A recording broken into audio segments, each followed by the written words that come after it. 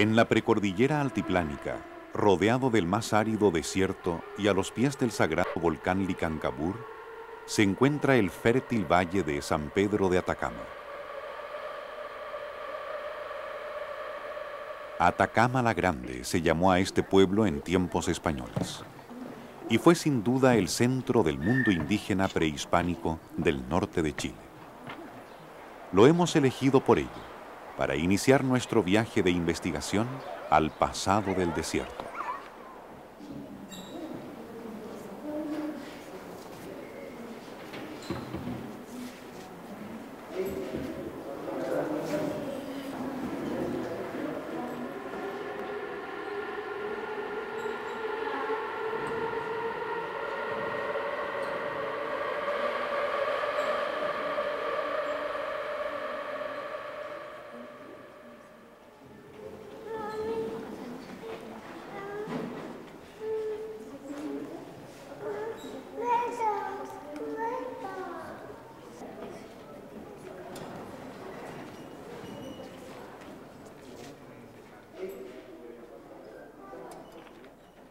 El Museo Arqueológico Padre Gustavo Lepech es el punto de convocatoria para connotados expertos en la arqueología y prehistoria del norte chileno.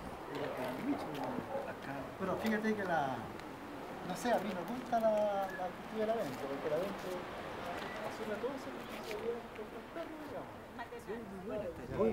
hace El doctor Lautaro Núñez, arqueólogo,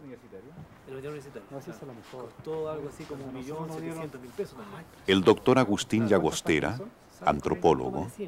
Pero si el estudio atacameño tiene 120 páginas, salió como... Calogero Santoro, máster en arqueología. Eh, había también toda esta cosa chinchorro que, que encontró... Luis Briones, profesor de arte americano. En el depósito de Kiani. Que, este, que, digamos que él lo describe y él señala de la situación, pero pone siempre... María Antonieta Costa, antropóloga física. Se integrará más adelante Eduardo Muñoz, conservador arqueológico.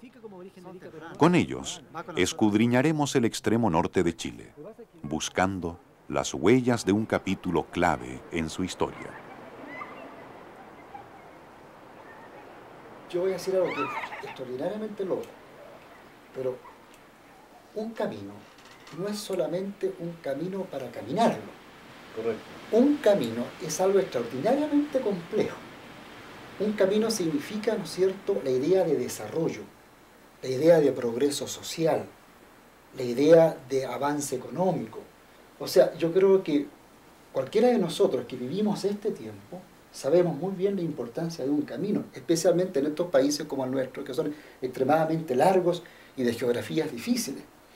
Entonces, cuando hablamos de un camino inca, estamos hablando de un logro, cierto? De un éxito en términos de que un imperio logró vincularse con una vasta región para sustentarse en sí mismo. El camino del Inca en el norte de Chile esconde la economía del desierto, la historia del desierto y las costumbres perdidas del desierto. El camino inca en el desierto.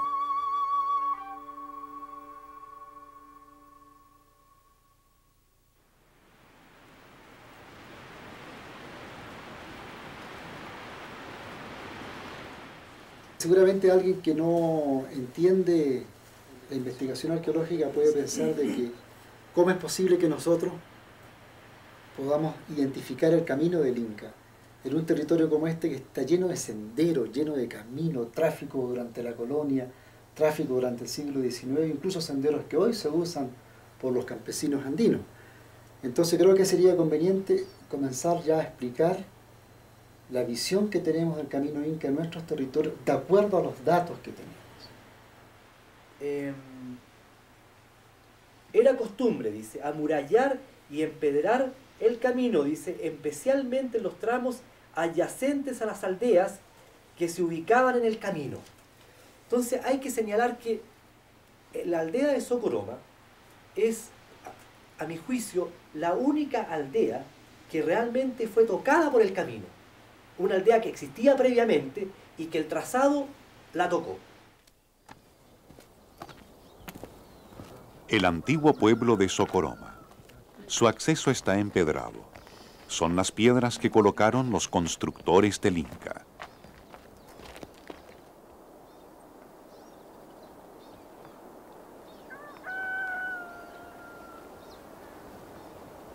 Sus actuales habitantes han perdido el registro de la historia. Son descendientes directos de una población que sirvió de soporte y apoyo a innumerables caravanas del imperio. Cientos de toneladas de oro, plata, cobre y piedras semipreciosas desfilaron ante sus ojos hacia el Cusco.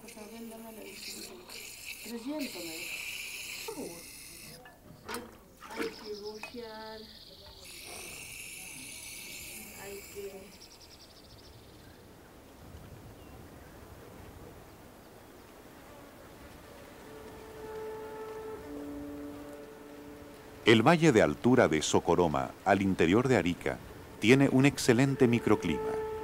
El imperio trajo agua en abundancia desde lejanas quebradas.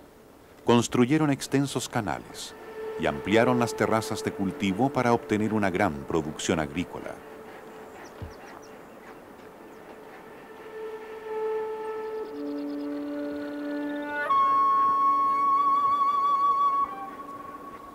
Papas, yuca, maíz y coca.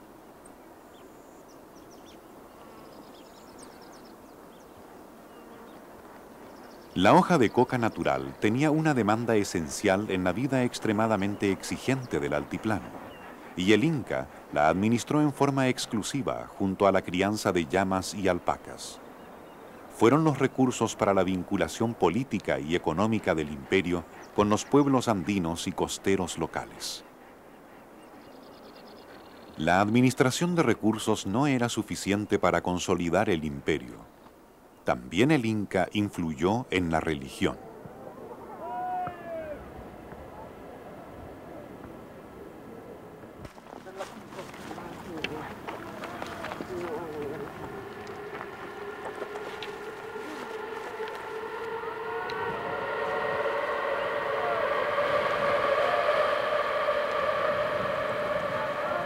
Es el mes de mayo y la milenaria religiosidad de los Andes adopta forma y rito.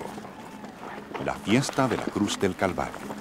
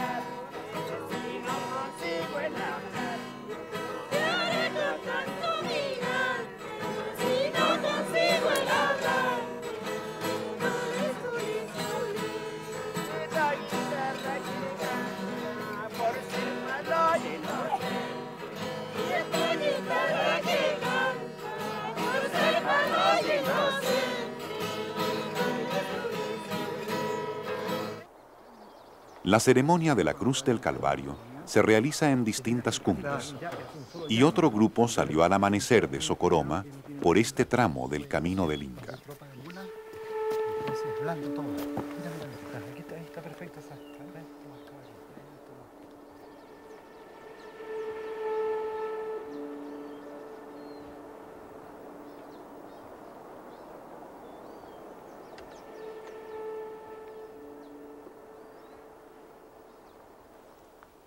Estamos en el camino del Inca entre Socoroma y Zapahuira. Es interesante observar el, el petroglifo, posiblemente en el siglo XVI, no lo sabemos, que representa la cruz del Calvario. O sea que el culto a los cerros de los incas se combinó con el culto cristiano de la cruz del Calvario. hay, tenemos los dos elementos del sincretismo, tenemos el camino prehispánico y tenemos aquí el símbolo español europeo, colocados digamos, dentro ya de un proceso religioso moderno. Y la fiesta de la Cruz del Calvario de Socoroma, donde hemos estado. Donde hemos estado. Exacto.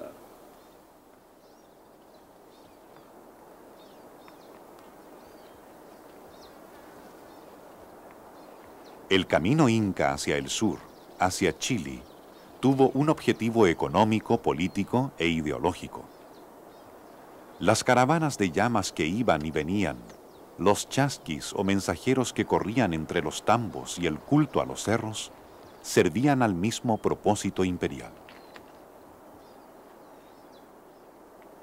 Estamos en, el tambo de Zapaguira, construido especialmente en relación al, al, camino del Inca, que corre unos 200 o 300 metros hacia el este, y sirvió para el refresco, el reparo, el descanso de, los, eh, de la gente que transitaba por el, por el camino.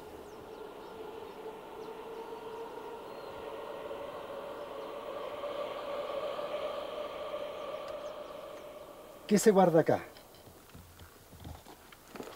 Maíz, fundamentalmente. Maíz. O sea que los valles maiceros de Arica, como son hasta el día de hoy el Valle de Yuta, por ejemplo, ya en tiempo inca eran maiceros especializados y aquí colocaban los excedentes para el inca. Y aparte de maíz, ¿qué otra cosa la lo encontraron? Eh, lana, el resto de lana. lana. Hilados, así sueltos, no hay tejidos completos. el trabajo que se hizo de limpieza arqueológica.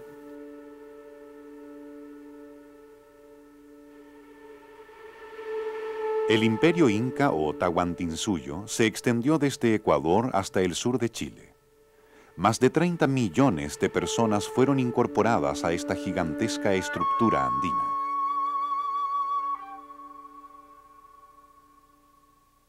Los Kipucamayu, funcionarios de alta jerarquía, registraban en el Kipu, la computadora incaica, los recursos de importancia para la administración del imperio. Los nudos contabilizaban tanto la producción de los valles como los bienes almacenados en los depósitos o colcas, donde se conservaba la producción de cada zona para su posterior distribución y consumo. Cientos de depósitos se unían junto al camino. Permitían al imperio satisfacer las necesidades locales y apoyar el avance inca hacia la riqueza minera del sur.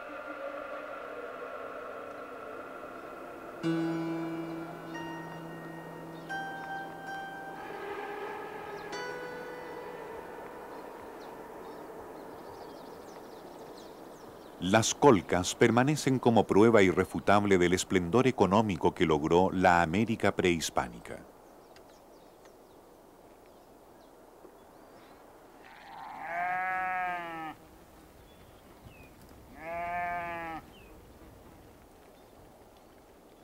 Cientos, miles de terrazas abandonadas hablan de una especie de barbarie posterior, de una civilización europea inmadura, que no supo comprender la fina ciencia agropecuaria de Sudamérica India, que buscó la plata y el oro menospreciando la producción de alimentos.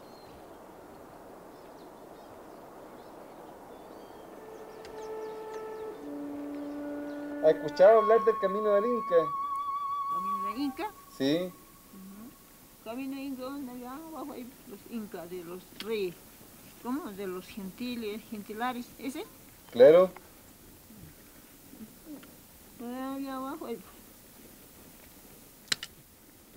¿Quién hizo el pueblo de Chaypiquiña? Así mismo yo despertaba en este pueblo. Aquí nací yo. ¿Y quién le enseñó del, camino gentilar? Ay, pues gentilar, aquel cerro ahí, después más allá, pues sentarlo más allá. Ese no, por allá está también bueno, sé. Para de Belén también está así. ¿Y quién le contó? Pero así no dice, pues, ahí no hay pues, escombros de casas gentilares, casitas de escombros. Ese es de gentil, dice, pues. ¿Y quién le contó a su mamá, su abuelo, su abuelita? Todos saben que es gentil, pues, ¿no? gentil. Así pues, ¿no? Gentil. Gentil le dice, pues gente antigua será eso, ¿no? Claro. ¿La gente por aquí no iba a Cotpa? Ah, iban, pues, con animales. ¿Y por dónde pasaban? Ese camino vamos.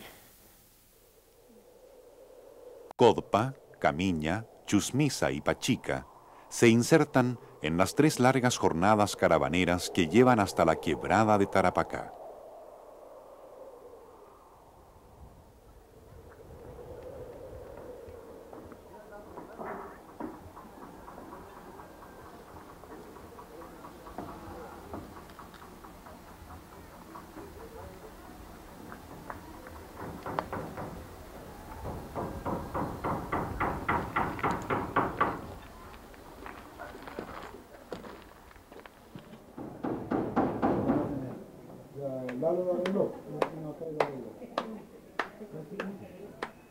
San Lorenzo de Tarapacá fue fundado por los españoles en el siglo XVIII. Los primeros pueblos españoles se ubicaron junto o sobre los pueblos indígenas. La lógica de los valles y los oasis, vital para el andino, también lo fue para el español. San Lorenzo aún existe. Las huellas del pueblo inca, las huellas de los constructores del camino han desaparecido.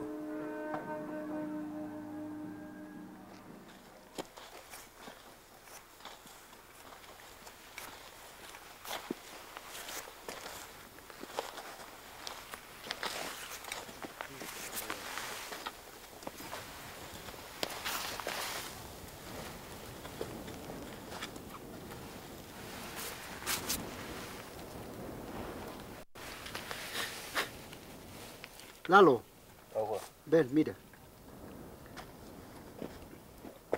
Estas son las botijas españolas con el resto de vino adentro. ¿Ves? Con, con la brea, creo que le ponen esto.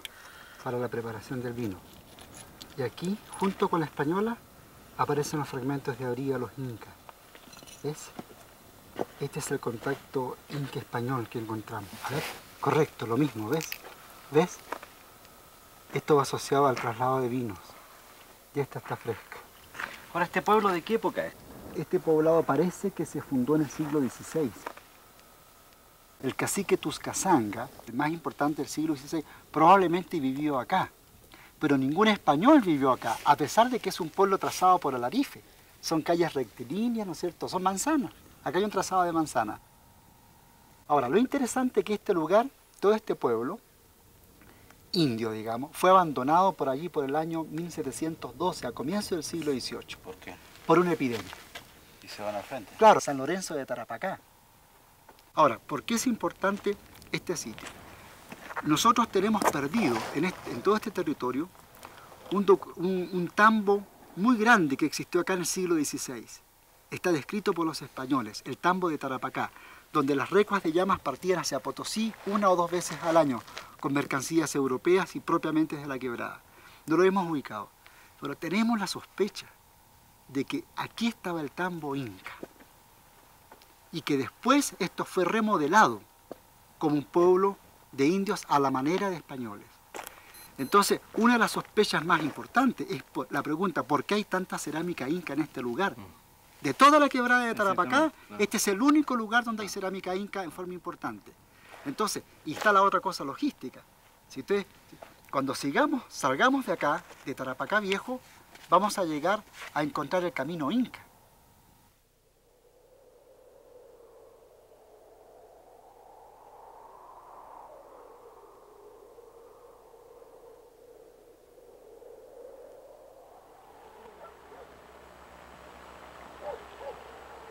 Un petroglifo marca el inicio de un sendero que remonta la quebrada hacia el sur.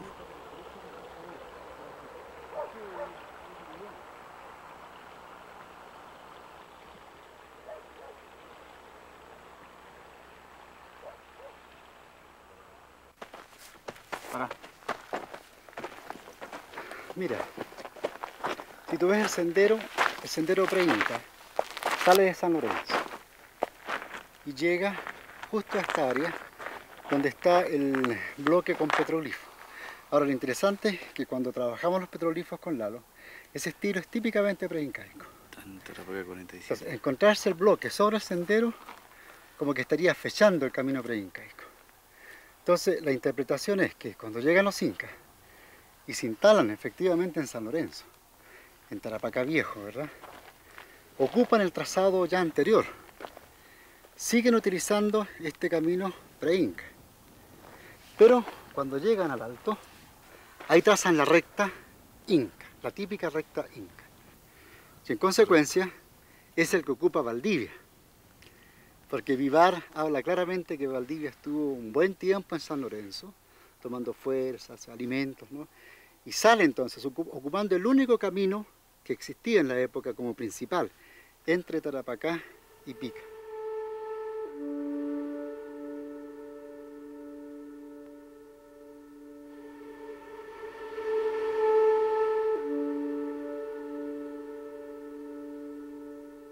Que se ve en forma de S al fondo es el camino carretero colonial que prácticamente rompió el trazado pre-inca recto.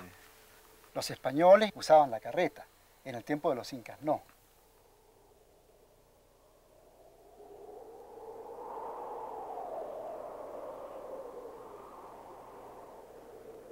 Una larga jornada caravanera por el desierto más árido del mundo separa la quebrada de Tarapacá de los oasis pequeños.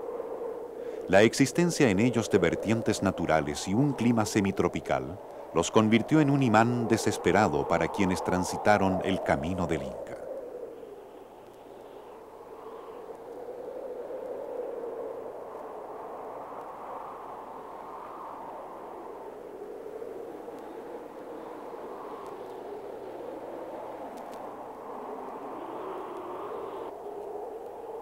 En la época indígena, Pica, Quisma y Chintaguay producían en abundancia maíz, zapallo, porotos, ají, harina de algarrobo y chañar. A partir de la conquista española, los oasis pequeños produjeron los vinos más cotizados de esta parte de América.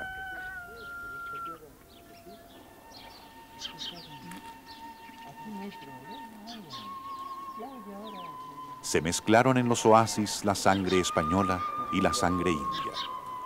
Palomas y cuculías unieron sus cantos en los campanarios de Matilla.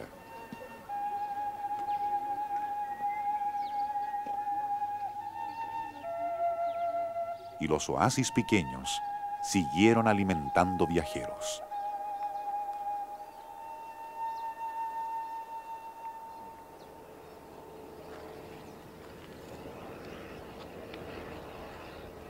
500 años de transitar el desierto han confundido caminos, rutas y senderos.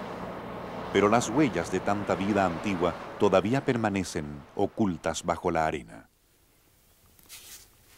Es la fase de Tarapacá, Lalo. Sí. Una población que es típica en la quebrada de Tarapacá, que está datada entre el comienzo de la era a 300 después de Cristo, y que nunca la habíamos encontrado en estos bases de pica. Y ahora aparece aquí en un cementerio que está totalmente profanado, digamos y se caracteriza porque los cuerpos han puesto dentro de los grandes cestos y son grandes recolectores de algarrobo. Por eso que podemos encontrar, seguramente vamos a encontrar algo del algarrobo. Si, mis datos de Tarapacá son correctos, deberíamos encontrar algarrobo. Deberíamos encontrar algarrobo.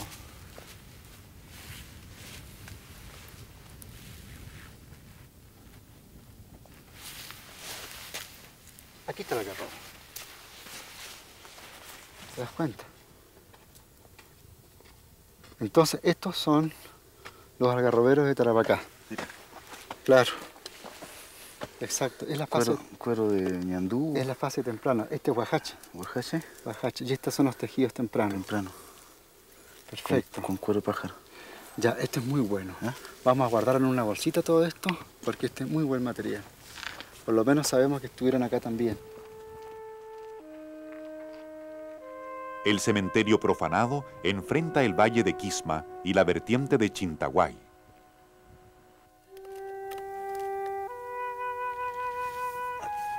La cocina. quemado. Tiene que ver Lautaro, ¿qué significa para ti el, este valle y la ladera del frente? Bueno, para mí y para Lalo es lo mismo. Nuestro bisabuelo Francisco Núñez tenía su casa donde se ve la mancha blanca allí, donde está ese lagar blanco, y ahí fue el origen de nuestra familia, digamos, puesto que los hijos de Francisco Núñez fueron nuestros eh, abuelos. Los Núñez llegaron a Matilla por el siglo XVII junto con otras familias españolas y comenzaron a cultivar las primeras viñas en la parte de Matilla. Y luego los hacendados matillanos fueron subiendo hasta controlar las aguas del Valle de Quisma. Entonces en este ascenso la familia Núñez se instaló a fines del siglo XVIII en este lugar que antiguamente se llamaba el pueblo del Valle. Y a comienzos del siglo XX, 1930, ¿verdad? 1930, se expropiaron las aguas del valle. Esto significaba que toda la, vertiente, ¿no? que primero había sido India y después, después eh, arrebatada de alguna manera por los españoles. Entonces esa agua se, se, expropió en 1930 para llevarla en cañerías a Iquique. Entonces a raíz de ese problema, toda la gente que acá vivió, como fueron expropiadas sus tierras, tuvo que eh, desterrarse, digamos, a otros lugares. Luis, ¿tu, ¿tu, mamá alcanzó a vivir acá en el valle? Sí, cuando niña. Toda su juventud la pasaron acá hasta los 15 años. Ella recuerda. Cuando venía, cuando niño ya abandonado. Y me acuerdo que siempre era una nostalgia, o sea, venir a ver donde vivieron los abuelos, siempre, siempre ha sido así. Cierto. Si uno no venía al valle como cuando iba a la calera a otras partes, acá venido por mm. algo especial, la verdad. Mi padre me trajo al lagar y me lo hizo reconocer. Y luego con mi familia y mi hija la traje acá y le hice reconocer el lugar. Lalo ha hecho lo mismo. Entonces ya eh, la hija de Lalo estudia historia. Entonces eh, eh, es muy bello darse cuenta de que la nueva generación está muy consciente, ¿no es cierto?, de que este fue el lugar del origen. Y vienen al origen, y ellos, igual que nosotros, cuando tengan una cierta edad, van a llegar acá. Eh, no pueden estar sin estar en este lugar. Es muy importante pasar por acá. Mm.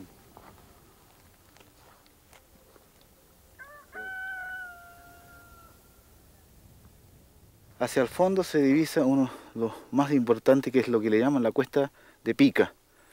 Esa cuesta de Pica desciende al valle, llega a la caja del valle y asciende por esta ladera, por el talud sur de la, de la quebra de Quisma, hasta alcanzar la Pampa y con rumbo a seguramente a Puquio Núñez, a Ramadas, Los Tambos, Chipana, Tamantica y siguen hasta Quillagua.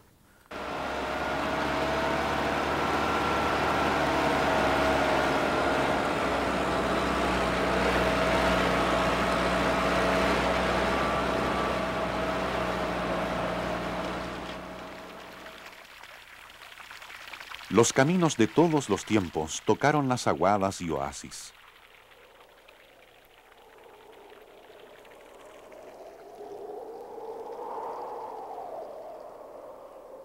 No hay ahora pastizales, maíces y chañares para abastecer a los antiguos viajeros, pero las caravanas del Inca pasaron por aquí. 50 kilómetros más al sur.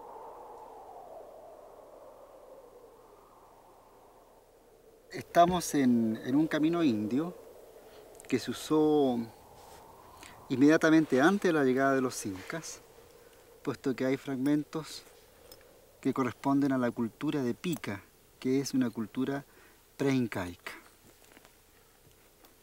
Todos estos fragmentos, especialmente estos fragmentos que tienen una técnica brochada, son del periodo de la cultura pica. Pero encontramos a lo menos un fragmento bastante evidente por la técnica y por la decoración, un fragmento que corresponde a una cerámica inca regional, es decir, una cerámica del periodo inca que se utilizó especialmente entre el altiplano y estos valles. Pero posteriormente, en el tiempo de contacto español, en el siglo XVI apenas llegan los españoles, los españoles por intercambio entregan eh, cuentas de vidrio europeo como estos que estamos aquí mostrando, y son incorporados a la cultura india, como a su vez los europeos reciben de los indios carne de llama, maíces u otros productos que necesitaban. Y finalmente, losa del siglo pasado, esta parece ser una losa china, lo cual demuestra que el camino estuvo en uso por tropas de burros, como es el caso de esta evidencia, y hasta fragmentos de vidrios gruesos correspondientes probablemente ya a este siglo. Entonces, observando el, fenómeno de esta manera, podemos ver una secuencia. El camino es usado por eh, pueblos de la cultura pica antes de los incas, luego es usado por los incas, luego es usado por los primeros españoles o por los primeros indios que ya reciben objetos españoles y es usado hasta tiempos recientes por esta losa y estos vidrios de data de unos 50 años atrás, no más. Una serie de quebradas modelan en esta zona el desierto. Antiguos aluviones precordilleranos cortaron el camino, que se redefine a la distancia en dirección a Tamentica.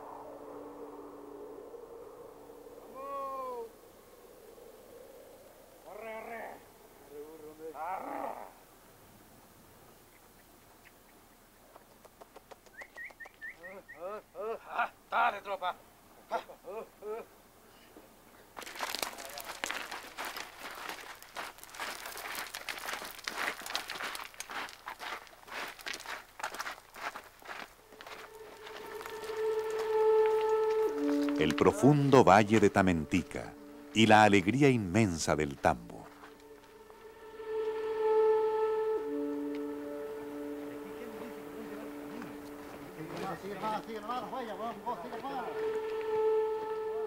Eras de verde restallante, de tierras campesinas que producían abundantes alimentos.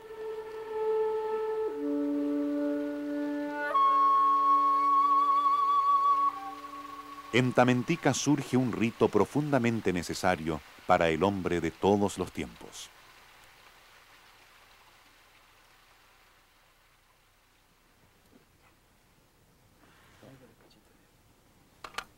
Este es uno. Este es uno, este es el otro. Va hacia adelante, va.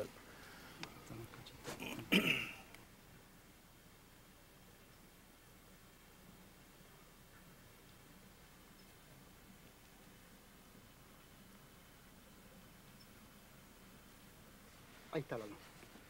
¿Ves?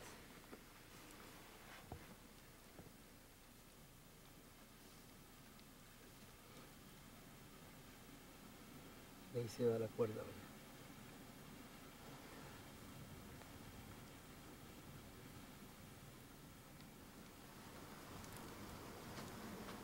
Lo lindo de esta parte es que está la representación de una balsa de doble cuerpo y el hombre parado, equilibrándose sobre esa balsa. Estas balsas son más bien del, lago, ¿no es cierto? Son las representaciones de la También podrían ser las balsas de cuero de lobo. Las balsas de cuero de lobo. También, tienen dos cuerpos y la forma, si tú ves, casi tiene como una forma de lobo, tiene la, son levantaditas arriba, que es típica la balsa de cuero de lobo, que tiene esta forma así levantada.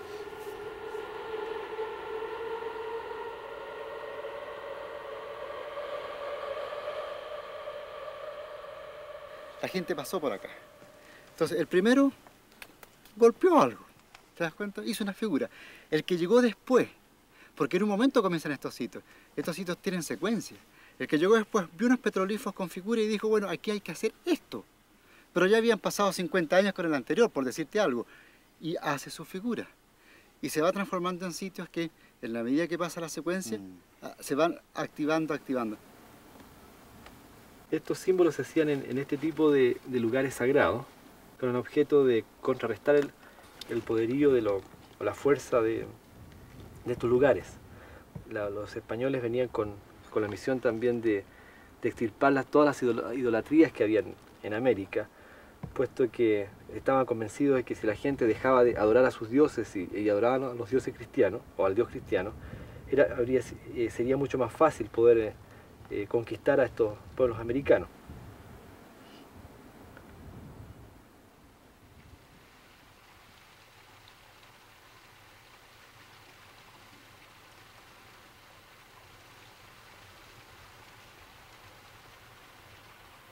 Pero mi padre vivió acá unos cinco años y él tenía conejeras, cultivo de, de, de hortalizas y trigo para comercializar en la Pampa Salichera, en Iris, La Granja, Laguna, todo ese sector.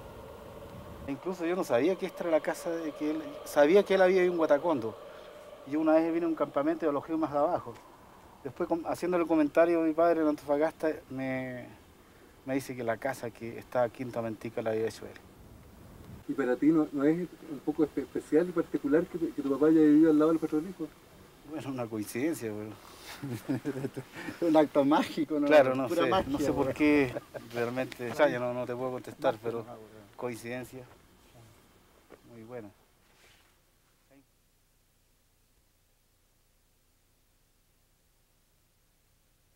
Poco más al sur, la quebrada de Pintados. Ahora sigue, la, sigue, la, sigue el recorrido. Ya. Hay uno, dos, tres llamitos, pero muy gastados. Arriba. Arriba y abajo una figura de lagarto grande. Muy, muy marcada, muy marcada. En una blanca, parte. Con su cola hacia abajo. Eso, eso. Viene una derecha. Uno, los llamos grandes. comienzan esos llamos. Uno, dos, tres, cuatro. Cuatro llamos grandes. Círculo. Círculo. Los protagonistas de una aventura extrema, los vencedores del desierto, sintieron una necesidad imperiosa. Contar. Ser cronistas cientos de llamas en la ladera, caravanas de llamas. Ya Diego Almagro pasó por acá de vuelta. Ya, pasó Valdivia por acá y Almagro de vuelta. Primero Almagro de vuelta. Primero Almagro de vuelta y Fue Valdivia. Valdivia, ¿cierto? Ya. Cuando pasa Almagro, hasta todos estos valles están en resistencia. Ahora, hay un personaje adelante, grande. Sí. Ese se parece mucho al personaje que está al comienzo. Al comienzo, y con eso se cierra todo, digamos. Se cierra todo. Ahí está la unidad. Dos personajes grandes que podrían ser españoles y indios al medio. Posiblemente, pero ahora el problema de esos indios al medio también están vestidos de la manera española. Ahora lo que sí es cierto es que eso es un panel más tardío que los otros que sí son indígenas propiamente tal. Está claro está clarísimo. Hay de, su, ahí, ahí, está más fresco el, el, trazado, los estilos son distintos. Los personajes son otros también. Los personajes son de perfil, avanzando, los, el movimiento. Los animales son otros. No, yo creo que lo importante de esto es que es evidente que se trata de un geolifo de tiempo histórico y eso es trascendente. O sea, claro. ya con eso ya nos daríamos por satisfechos, digamos. Después de cuatro jornadas caravaneras y a los pies del volcán Licancabur, surge un oasis de gran importancia para el camino, San Pedro de Atacama.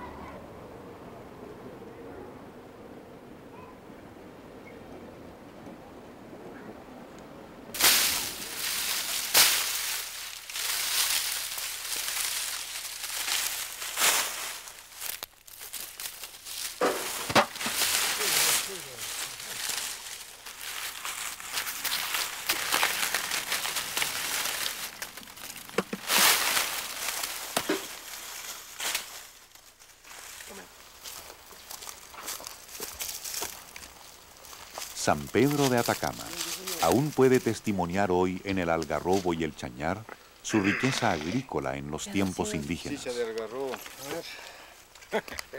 que la noche duerme, que a la noche salga la chuica. No, ya salió. Ya se fue la María ya.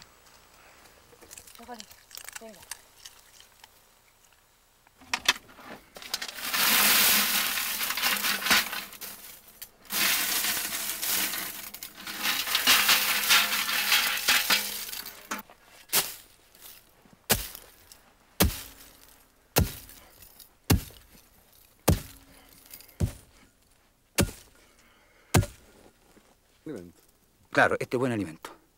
Esta, esta harina, pero es mucho más molido. ¿Ah? Este es un alimento que incluso así usted puede probarlo, es dulce. Dulce, dulce. La loja tiene que ir así, casi limpio, sin harina. ¿Por qué razón? Para que el, el jugo que sobra, entonces no, no quede espeso, quede clarito. Así lo llama el birque y Una vez en el virque se prepara con agua no caliente, sino que tibia, cosa que no sea muy helado, muy fresco. Y eso se espera sus 4 o 5 horas y queda como una cerveza, espumante. ¿Cómo aprende usted? Bueno, esta es una tradición de aquí. Una generación tras generación se va aprendiendo la preparación de la loja. Listo. Preparada la loja.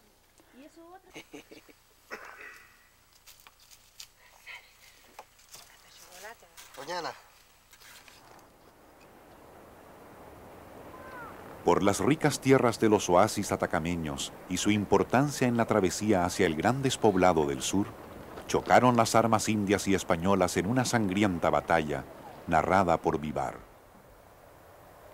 Sabiendo los indios de Atacama la venida del general Pedro de Valdivia, escondieron las comidas debajo de la tierra. Hicieron una fuerza en un cerro agrio, solo y apartado, al cual los indios llaman Pucara, que quiere decir lugar colorado o sitio de sangre.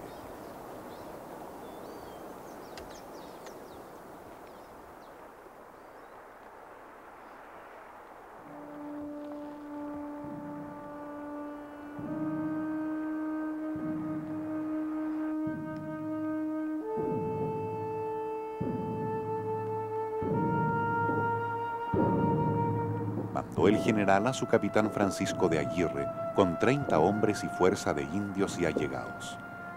Encomendáronse a Dios y con la orden dieron en los indios, no mirando a su gran grita y alarido.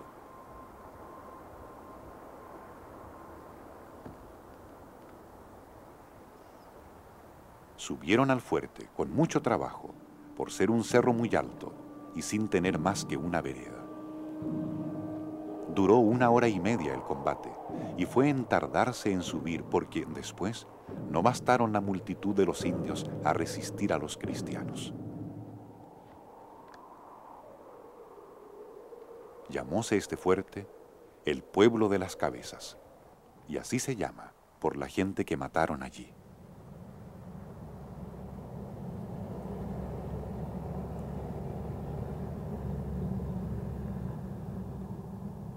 Los incas, al parecer, no tuvieron que guerrear con los atacameños. Compartían una visión similar del mundo. Trajeron progreso tecnológico y tuvieron un gran aliado, el culto a las alturas.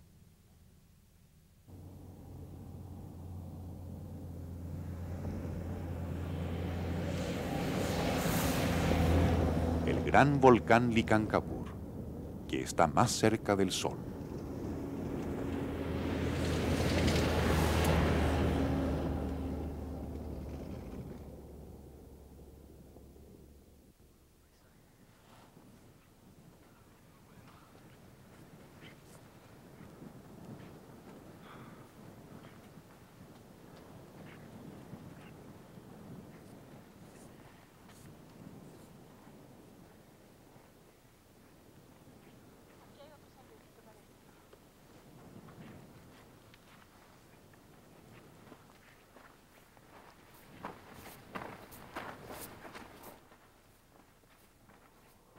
La riqueza minera de Chile prolonga el camino inca hasta esta región. La existencia hacia el sur del terrible despoblado de Atacama hace que toda ayuda material sea insuficiente. El culto inca a las grandes cumbres es el que apoya esta expansión. En la falda intermedia del volcán Licancabur permanece el más imponente y menos dañado tambo incaico de Chile.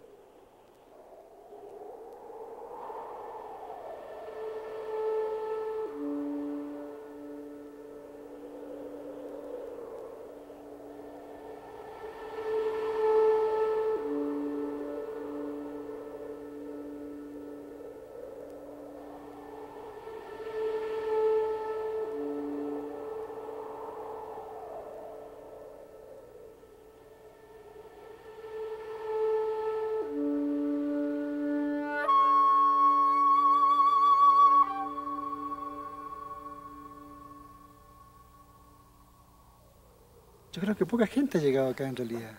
Muy poca. Cuesta, si estamos aquí a altura, cerca de los 5.000 metros. Claro, cerca de los 5.000 metros. Nos faltan como unos 1.000 metros para llegar a la cumbre del Licancabón. Claro, claro. Yo tengo la impresión de que todo, de todos los, los templos que hemos visto, este a mí el que más me impacta, ¿no? sí. Sin duda, a mí me ha impactado tanto que todavía no saco el aula, digamos. no, realmente, la, la conservación, las, las, dimensiones...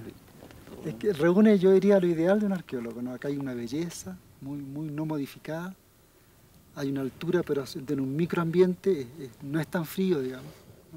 Los testimonios están como que el Inca se fue ayer, la cerámica está como todo puesto, ¿no?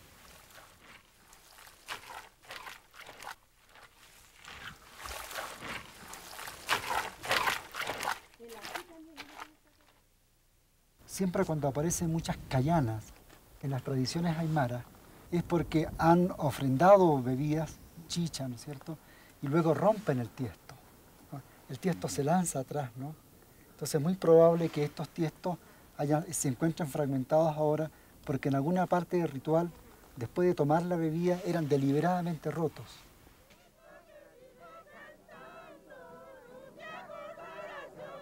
Pensamos que las fiestas durante el periodo inca ocurrían acá y como parte del ceremonial era el ascenso a los adoratorios de altura y probablemente retornaban y seguían las ceremonias acá. En este caso creo que el culto al cerro le dio un carácter ceremonial a este tambo.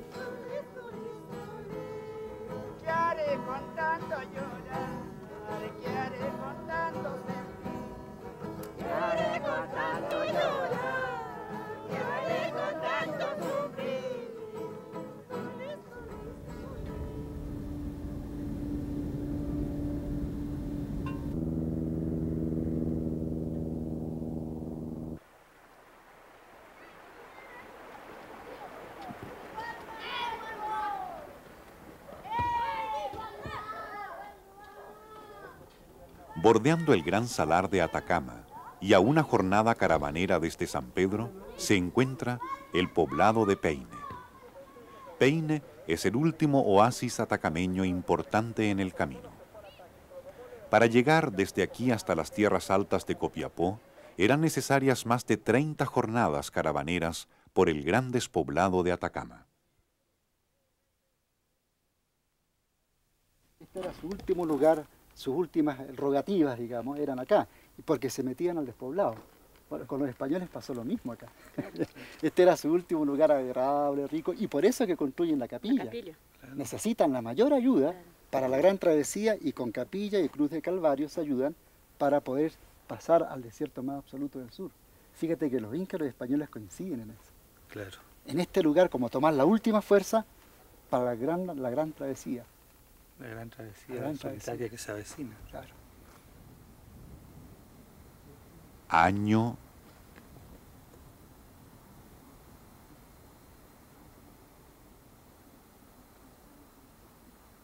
mil seiscientos treinta y uno. María Inmaculada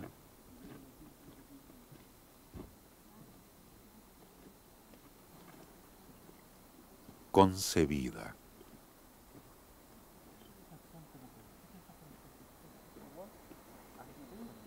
A Valdivia, con Vivar. Todos pasaron por aquí. Todos pasaron por acá. Se cobijaron en su sombra.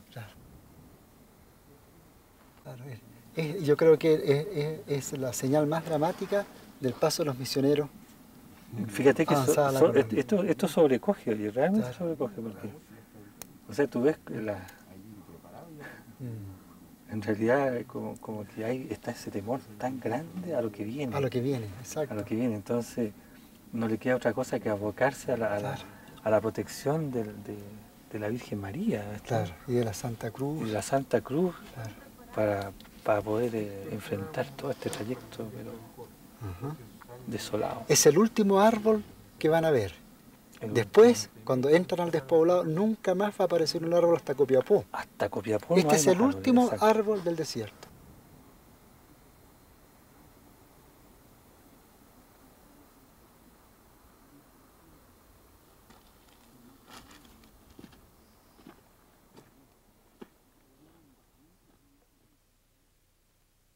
Un camino no es solamente un camino para caminarlo. Un camino es algo complejo. Un camino significa desarrollo, progreso social, cambios culturales. El camino inca en el desierto fue un gran logro.